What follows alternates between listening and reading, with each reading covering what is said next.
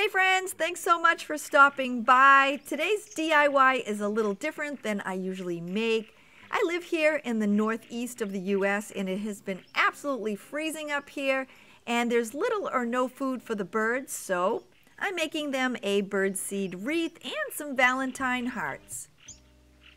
If you live in a warmer climate, and I am super jealous because it is so cold here, I'm also going to be sharing a Dollar Tree hanging bird bath that I made a while back. Getting started, I'm adding some dry fruit to my hanging hearts and I'm using two boxes of raisins and about a half a bag of these organic dried cranberries. I opened the two boxes of raisins onto my cutting board Using my knife, I then cut them into smaller pieces, and I think you can probably leave them original size, but I just wanted to make them a little smaller so they were easier for the birds to eat. When I was done, I added about a half a bag of the dried cranberries, and then I chopped those up as well. When I was done, I mixed them both up and now I'm going to make the gelatin that will hold the dried fruit and the seeds together. I'm using the Knox gelatin and there's four packages inside. I'm only going to be using two. Along with the gelatin, I'm also using some whole wheat flour and some corn syrup and I picked all these ingredients up at Target. I have three quarters of a cup of hot water and I'm adding in both packages of the gelatin. Then I'm just whisking it all together until it's completely dissolved. With that done, I'm now mixing in three tablespoons of corn syrup and I'm going to mix that together as well. When I'm done, I'm then adding in 3 fourths of a cup of the wheat flour. I'm now adding that to my mixture and I'm combining them all together. I picked my bird seed up at my local Walmart and I'm going to be slowly blending in 4 cups. The mixture gets a little thick, so I just kept adding in my seed and I used a little muscle to mix it all together. Once all the seed was blended, I then incorporated my chopped raisins and dried cranberries. I'm making my birdseed mixture into Valentine hearts and I'm using two heart cookie cutters and two plastic heart bowls that I have, but you can always use anything that you have on hand. You're going to have to make a hole in your heart so you can add your hanger and I just went outside and cut four sticks at about four inches in length. I placed a piece of waxed paper over my cookie sheet and then using some vegetable spray, I sprayed the inside of my bowls and my cookie cutters. So now that they all have a coat of vegetable spray, I'm taking my birdseed mixture and I'm filling my two heart bowls and my cookie cutters. Once my seed mixture was pressed into place, I then took one of the sticks that I cut. I decided how I wanted my heart to hang and then I pressed the stick into the seed, making sure that it hit the bottom of my container and the cookie cutters.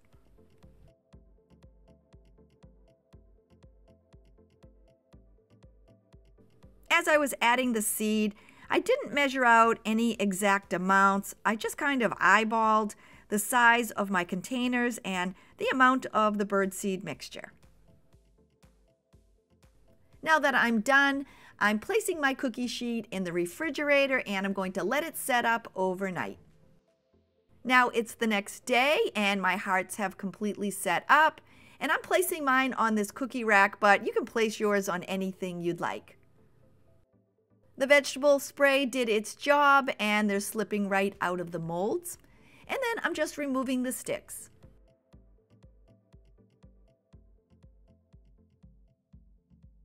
Now that all four of my hearts are free from their molds and they have a hole in them, I'm going to be giving each one a ribbon hanger. I'm using some Valentine's Day ribbon from the Dollar Tree, along with some that I had in my stash.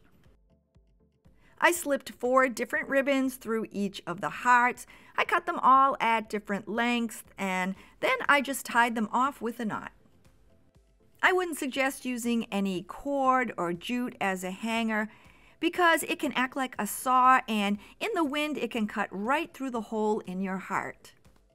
After I had added all the hangers, we had the worst weather blow through here. It was snow showers and rainy. It was just miserable. So I did take the hearts and I left them out in my garage for about four days.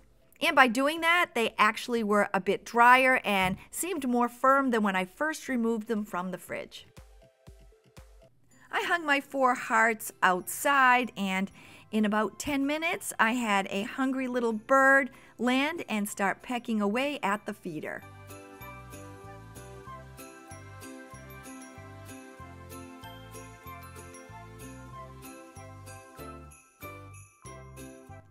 If you're enjoying my video, please consider clicking on that red subscribe button and leaving me a big thumbs up. To start my birdseed wreath, I'm first going to be adding in some unsalted peanuts, and I just picked these up at my local grocery store. I removed them from their shells, and I'm going to be adding in a cup, but this step is completely optional. You can always just add in an extra cup of birdseed. So now that I'm done, I have just about a cup of peanuts and I'm placing them into my measuring cup and then I'm going to break them up into smaller pieces just by crushing them with my ice cream scoop. Instead of using the traditional lard that a lot of people use to make their birdseed wreath, I'm going to make mine with coconut oil and I picked mine up at Target. I'm using three and a half cups of the melted oil, so I picked up two jars. I placed them both in my microwave to melt, and then I measured out three and a half cups. This wreath is so easy to make. I then just poured my measured coconut oil into a larger bowl. I then added in seven cups of birdseed, my cup of crushed peanuts, and I actually had a half a bag left of the dried cranberries so I just chopped those up and added those in as well. And then I just gave it a good mixing. To make my wreath look pretty, I'm using my Bundt pan, and if you don't have one of these, you can always find them at thrift stores. They're usually pretty cheap. I slowly poured my seed mixture into the pan. I leveled it off, and then I placed it in my refrigerator and I let it set up overnight. To remove the wreath, I placed the bottom part of the pan in some warm water and I let it set there for about 20 seconds. I then placed a sheet of waxed paper over the top and my birdseed wreath slipped right out. I wish you were here because this smells so good. For my hanger, I'm adding a thicker Valentine's Day ribbon to my wreath and if you've watched any of my past videos, you know this is pretty much all I've been able to score at my Dollar Tree this year. I cut about a 36 inch length of ribbon. I then wrapped it around the center of my wreath, tied it into a strong knot, clipped off the excess end, and then it was ready to hang. And one quick tip is that coconut oil melts at 76 degrees, so this is definitely a wreath to make for cooler climates.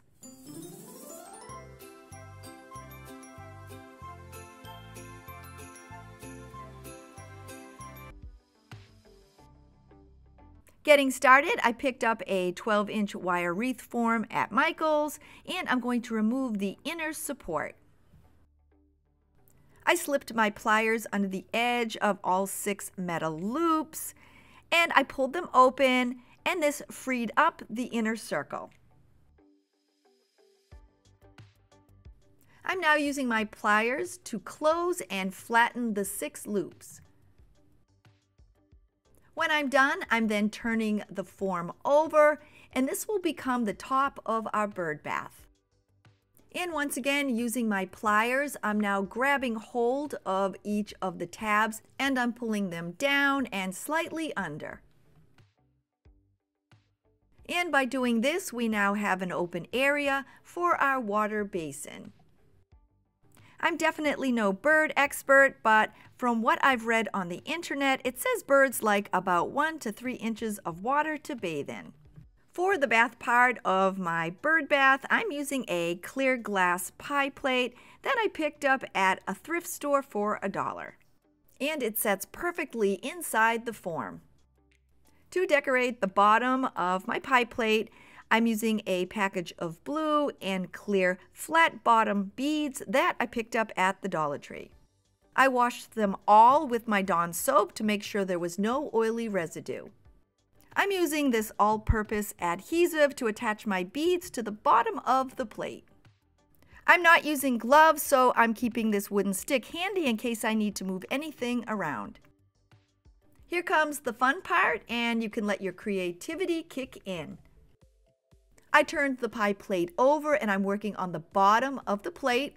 And then using my adhesive, I'm starting to add the beads and I'm going to make a little flower pattern. This glue works amazing. I'm just adding some to the bottom of the plate and then I'm placing the flat ends of the beads in the glue.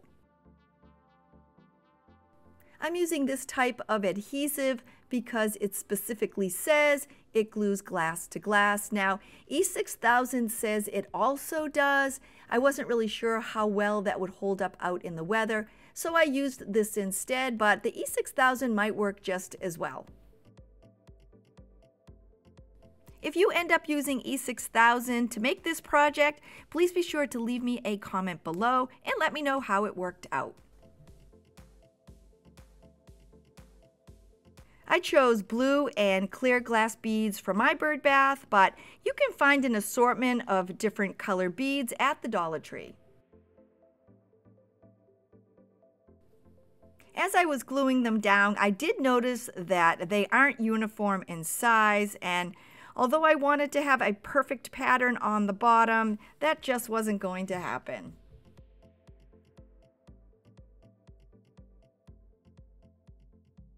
Once I had the bottom complete, I then placed one row around the side.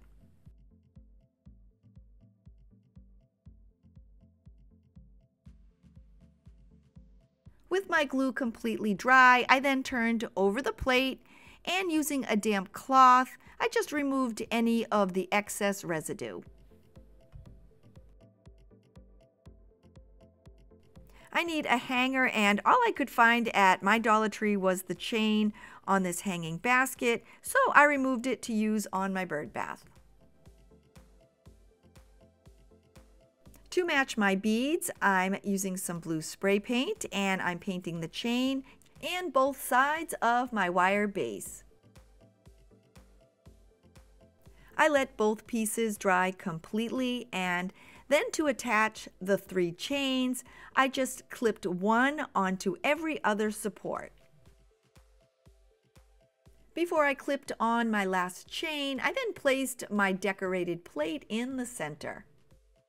Once I had it in place, I then clipped on my last chain.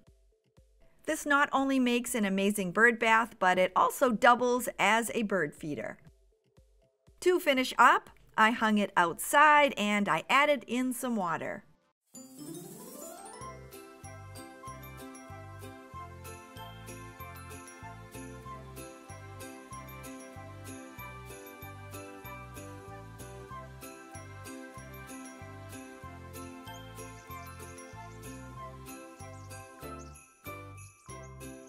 Thanks for making it to the end, and I hope you enjoyed making these bird-inspired DIYs with me.